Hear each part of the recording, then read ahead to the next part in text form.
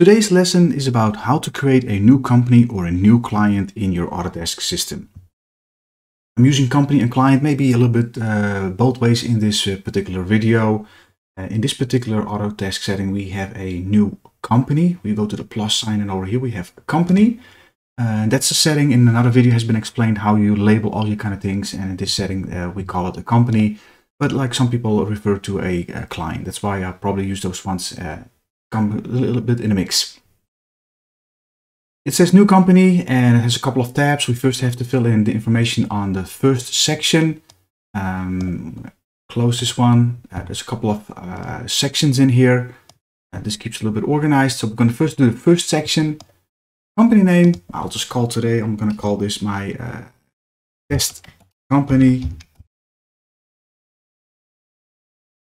just to kind of show you, but I'm going to uh, do a couple of items now. Contact name, you can save it with uh, without a contact, but it's preferred that you have a contact.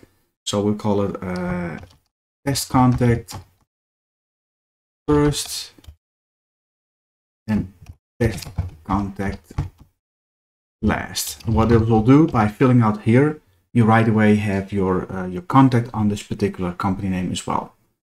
There's of course a prefix, it's a Mr. and there's a suffix maybe. It's uh, You can uh, label those ones in there. Again, this is a settings that you have to fill in. And for that, it's going to be under the contact. So I'm going to probably not refer too much to some basic settings, but in a bit, I'm going to show you to where you can add a couple of more uh, items in there. The title, let's call him the, the, he's the purchaser of this particular company. Phone number, as you can see, that has the little uh, it's a it's an obligated field. Just put in a number. Email is again, uh, it needs to have the email. Uh, later on, you can maybe add the contact and change the email, but it's an obligated field when a contact needs to be created. There needs to be an email. Right now, I'll just do a bogus email. Address one.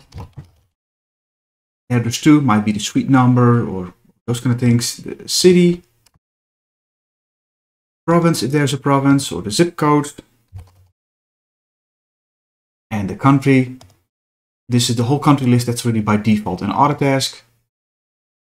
I'll just put something in there. You have a section for additional address information. You have an alternate phone. An alternate phone too might be a direct line or separate with an extension. Well, extension is over here. Mobile phone or cell phone, that's how it's called. Your fax, how much is being used. Now here's a couple of more uh, important types. By default, it will be a lead. So you get a new client, a new company put into the system, it becomes a lead.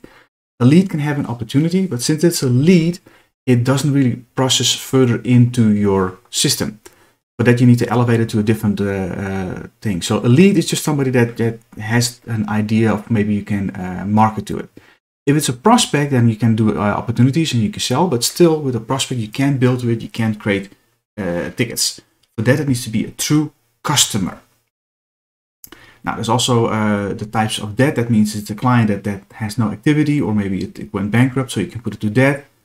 Client that maybe went into some other stages, you can put it to cancellation, however you feel like how you put them. Um, and there's other ones too, is vendor and partner. Now, if you label one as a vendor, that's very needed. That's for your inventory module needed. So make sure that if you create a new company that's going to be your vendor, that is also listed as a vendor. It's also good for your mailings because if you do a mailing to your end users, if you have them filled out correctly here, then you can unselect your vendors and then your vendors don't get your, your mailings for what you want to uh, market to them. And the same to do with a partner. Today for this uh, example, I'm just created as a customer. Then we also have a classification, there's a whole bunch of classifications. Now you might say, how do we get there? Let's go to here, we go to admin, and then we have here companies and contacts. And that's where a whole bunch of those items we can set up at the same time. As you can see over here, there's a list, classification, and that's a set that we have in here. Eh, the classification icons. And we can just say, okay, what kind of client is this particular? Let's call this one an all-you-can-eat buffet. That's a good one. Account manager, you can choose whoever is going to be responsible of this particular account. Territory name, you can also in what kind of regions somebody is going to sell. let's call it Southwest. Territory name, again, you can set them up over here by going to this section. Then you have market segment. Uh, this is kind of uh, combined in, in uh, groups of salespeople. You have a team blue, a team green, team red. this also can be set up here in the, in the segments. Uh, but another way is also to do is that you can say, you know what, okay, somebody is, although they're in the southeast, their market segment is, let's say, hospitality. So that's also kind of ways on how to segment your uh, your groups. Uh, it's a particular industry where you are uh, uh, working on. Competitor, there's nothing in this case in this setup, but competitor is also here again a list of competitors you can put in if you mind, if you want to track those kind of items that who's going to be a competitor parent company name. So in the case this uh, company is a subsidiary of something else, then you can put your parent company there and a website and maybe a company number. Those speak for themselves. Here is the user-defined fields. User-defined fields is another lesson, but uh, for an example, we created some customer uh, user-defined, some company user-defined field over here. We like have a customer team, so you can even uh, user-defined field with we just basically made it a name and in this case, we did some other items in there. We have a lead source as well to know like, okay, where did it came from? Was, for example, a walk-in. A number of employees is also a user-defined field. So you have to manually create these user-defined fields first, and then it will populate over here. But once they're here, you can do a whole bunch of items with it. The number of employees in this case is 15. Same thing what we did with the uh, contact and user, user fields. Also a couple of items, and this is kind of good days, like, hey, birthday, have it in there kids names. So there's good items as well. Now let's go to subsidiaries.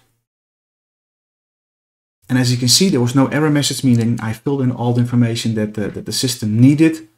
And a subsidiary is also a kind of relationship. You have the parent-child account where you have a parent account where you can bill everything and all the branches are their child accounts. Uh, this is also where you can do a subsidiary and uh, that's where uh, you can also uh, add some clients that are, are, combined with it. Again, you can just pull up this menu and it will bring out your whole uh, list of clients that are in the system and you can choose, choose the one that, uh, that you say, okay, this one is going to be the one that's needed there. And there's the tab Save uh, Site Configuration. There's a whole bunch of, again, it's all user-defined fields that we put in there.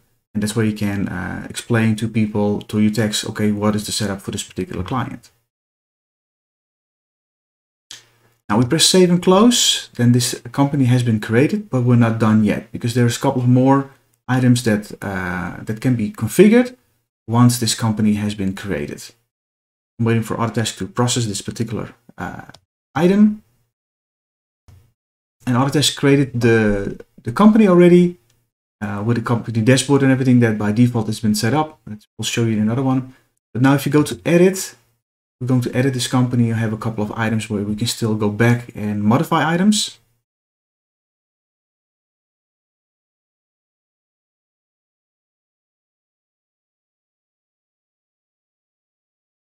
And in here you can see the items that we have over here and we can easily modify them here.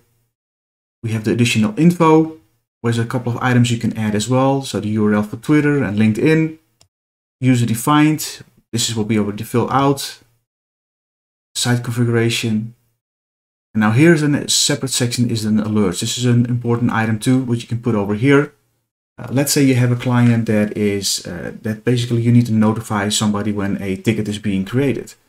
Well, you can do it on the ticket alert, uh, the detail when it's always visible. Uh, but you can say, okay, inform Bob. And then you can say inform on ticket, you can say inform Bob and John. And here we can say maybe help desk only client.